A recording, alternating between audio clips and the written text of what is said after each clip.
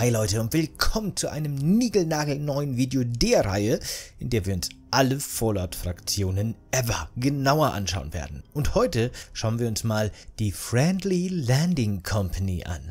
Die Friendly Landing Company, meistens als FLC bekannt, ist nach außen hin ein Unternehmen, das denen in Not Geld leiht, damit sie sich selber helfen können. In Wirklichkeit handelt es sich bei der FCL allerdings um ein skrupelloses Kredithai-Unternehmen, angeführt von Decker, dem wahrscheinlich größten Gangsterboss in The Hub.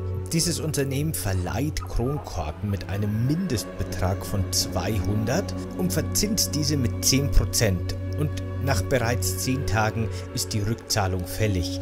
Sollte der Kunde nicht in der Lage sein zurückzuzahlen, schreckt die Friendly Landing Company nicht vor Drohungen, Gewalt und sogar Mord zurück. Die Hub Police die im Hub für Recht und Ordnung sorgen soll, hat schon lange ein Auge auf die Friendly Landing Company geworfen, kann diesen allerdings nichts nachweisen. Sollte sich der Bunkerbewohner allerdings dazu entscheiden, das von Lorenzo Giovanni gemanagte Kredithai-Unternehmen zu attackieren und seine Mitglieder und Angestellten zu töten, guckt die Hub-Polizei weg, solange sich die Kämpfe nicht auf die Straße von The Hub ausbreiten. Wie so oft ist über die Zukunft der Friendly Landing Company nicht sehr viel bekannt. Da sie die Autoritäten allerdings schon lange im Auge haben und sie sich viele Feinde durch ihre Praktiken machen, dürfte es für diesen Zweig des großen Deckersyndikats wohl keine große Zukunft gegeben haben.